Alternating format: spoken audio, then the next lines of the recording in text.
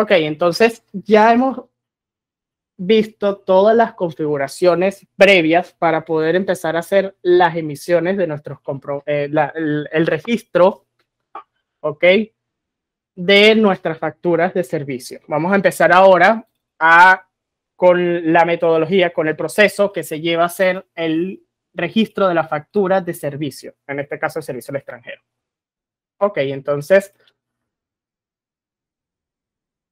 vayamos a proceder a hacer nuestro primer registro. Eh, como es de tipo servicio, yo lo puedo hacer de distintas maneras, por el de compra o lo puedo hacer directamente por facturación. Como no vamos a mover inventario ahorita, voy a hacerlo directamente desde facturación. Aquí voy a ir a proveedores facturas, voy a crear la factura eh, otro punto importante que dejé pasar, que ahorita me acabo de, recordar, es los proveedores, en este caso, que vamos a trabajar. Eh, voy a trabajar ahorita con uno, que es este nombre, ¿ok? Al momento de que yo vaya a crear este proveedor, le voy a colocar el país que, el país que es distinto, o sea, distinto de Perú para que obviamente Odoo entienda de que es un comprobante de domiciliado. El mismo procedimiento vamos a hacerlo con el, otro con el otro proveedor que yo voy a importar, con el cual yo voy a trabajar para las importaciones. ¿Ok? En este caso, China. Y en las posiciones fiscales, tenemos que considerar dos posiciones fiscales para temas de eh, los registros de servicios del extranjero, las invoice.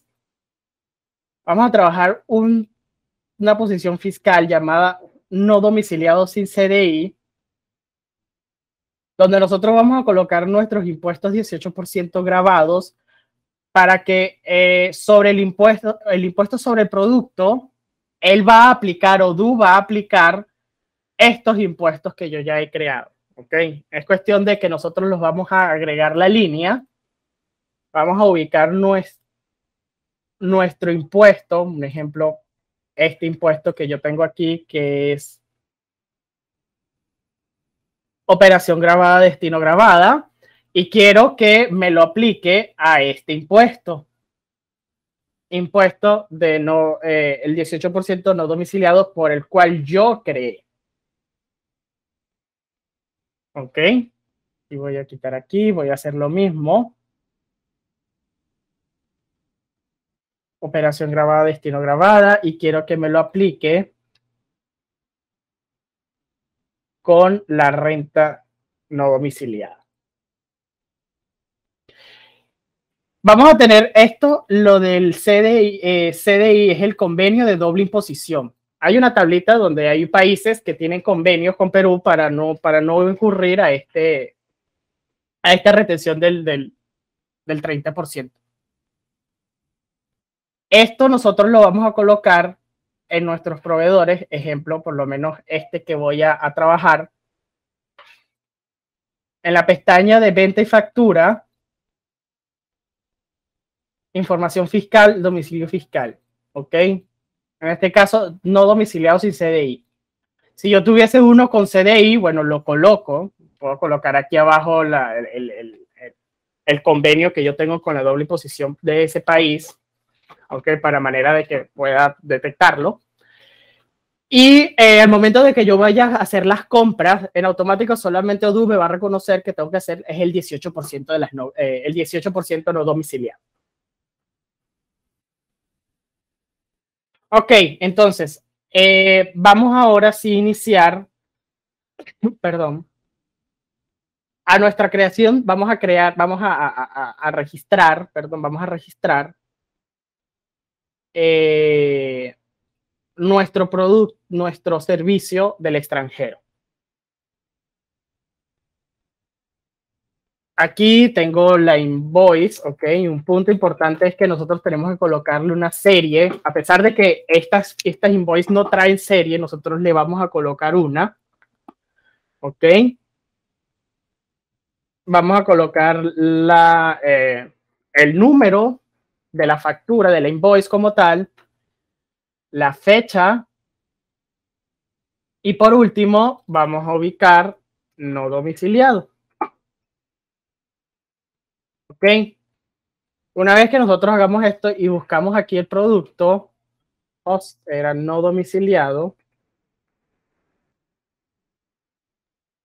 aquí se dan cuenta que de forma automática Odoo me va a traer los impuestos que yo les he, indicado en la posición fiscal. ¿Ok? Eh, vamos a colocar dólares porque estos son en dólares. Vamos a colocar un importe de 200 dólares. ¿Ok? Entonces, nosotros al colocar aquí, vamos a ver en nuestros apuntes contables de que Odoo de forma automática me va a registrar mi cuenta por pagar que le tengo al, a, este, eh, a este proveedor del extranjero, mi cuenta del gasto y mis cuentas de impuestos conjunto tanto el IGB como de la renta no domiciliada. Luego de que tengo esto, yo me voy a ir a la pestaña de domiciliado y esta información que está aquí la tengo que llenar, porque esta información viaja a mi reporte del registro de compras del 8.2, es decir, el del no domiciliado.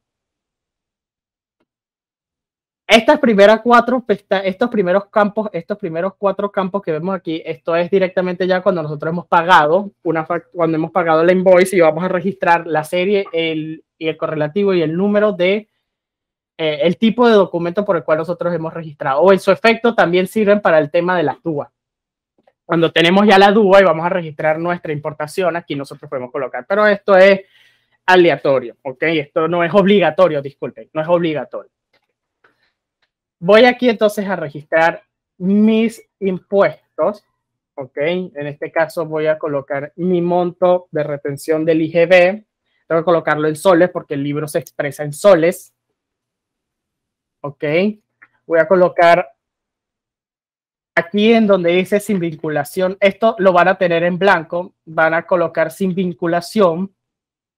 Ok, al momento que colocan sin vinculación van a colocar el código 00 y el nombre sin vinculación. Existe, existen tablas, existen tablas, ok. Después los invito a que vean las tablas de SUNAT, donde, que, son cada, cada campo que necesitan. Por lo menos esto es una tabla, esto es otra, eh, a partir de aquí abajo son tablas, ok. Entonces, eso lo van a ver ustedes directamente ya en, en, en las tablas de SUNAT. Aquí voy a registrar entonces mi renta. Si tuviese alguna deducción o costo, la coloco. Caso contrario, la dejo en blanco. Y voy a colocar mi renta neta. La tasa de retención en este caso es del 30%. Y el impuesto retenido va a ser el que me da Odoo aquí. Como le he dicho con anterioridad, existe una tabla eh, de los convenios de doble imposición. En este caso voy a colocar 00 porque es el que no, no, no aplica, no aplica el convenio de doble imposición. Existen los demás, bueno, sí aplica. Exoneración de no domiciliados, si en tal caso se requiera, se coloca, si no, se deja en blanco. El tipo de renta si es un campo obligatorio, ¿ok? Esto, como les indiqué, viene de una tabla. Modalidad de servicio también es un campo obligatorio que viene de una tabla. Y esto eh, puede quedar en blanco. Entonces yo voy a guardar mi factura, invoice, y voy a confirmar entonces ya tengo registrada mi invoice por el cual eh, posteriormente yo voy a pagar los impuestos que tengo que, eh, que, tengo que pagar. Llega el mes que viene la determinación de impuestos y eh, le pasamos a tesorería, se le pasa a tesorería y tesorería hace los pagos de nuestros tributos, ¿ok? Entonces, Ya lo que tenemos que hacer nosotros es registrar estos pagos en nuestra en, en nuestro aquí en nuestra factura, en nuestro eh, en nuestras facturas proveedores para que nos para que nos aparezca reflejado en nuestra contabilidad de los registros 8.1, es decir, las compras nacionales. Para eso vamos a crear, ¿ok? El proveedor a que le estamos, vamos a utilizar es el de SUNAT, porque estamos trabajando con localización peruana. Aquí la referencia factura vamos a colocar el formulario 1662, que es el formulario con el cual se paga estos tributos, y el número por el cual nos da eh, la boleta de pago de SUNAT. Se supone que estos son tributos que tú pagas al mes que viene. Como estamos ahorita por temas taller, lo voy a colocar qué fecha factura hoy. Pero se supone que tú pases una determinación de impuestos, él se pasa, se, se hacen los pagos y después posteriormente es que registras esto. Eso se debería registrar para la época, para en abril se debería empezar a registrar esto.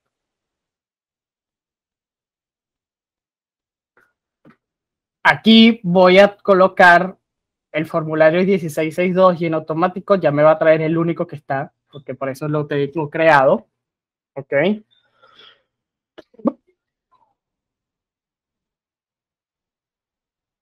Y voy a colocar entonces, aquí lo voy a colocar en dólares, y aquí voy a colocar mi valor referencial. Ok, entonces mi valor referencial de mi factura, que el cual yo he comprado, que son los 200, Ok, entonces voy a tener igual mi IGB. ¿Qué voy a tener aquí? La compensación que es lo que les estaba hablando, de que voy a tener un monto por el debe y otro por haber por igual monto, lo cual se van a compensar, va a ser efecto cero. Voy a tener mi crédito, ok, voy a tener mi crédito fiscal por mi cuenta 40. Y por último, voy a tener por el crédito mi tributo por acreditar, ok, el, la cuenta del crédito, lo voy a tener por aquí para entonces luego proceder a, eh, a guardarlo, ok, y lo confirmo. En automático esto se hace ya que está pagado, porque en realidad ya está pagado. Y si yo me voy aquí a contabilidad, libro mayor, y busco esa cuenta 16,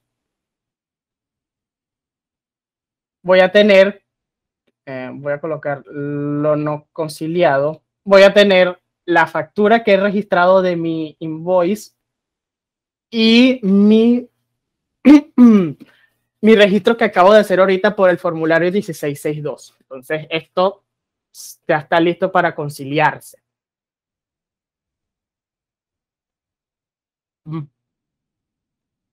Por último, lo que podríamos ahora revisar cómo está quedando nuestro registro de compras.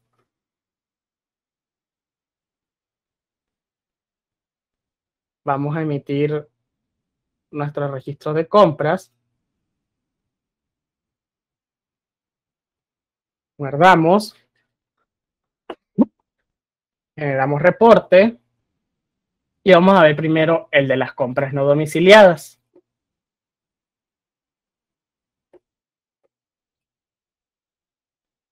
Aquí en las compras no domiciliadas voy a tener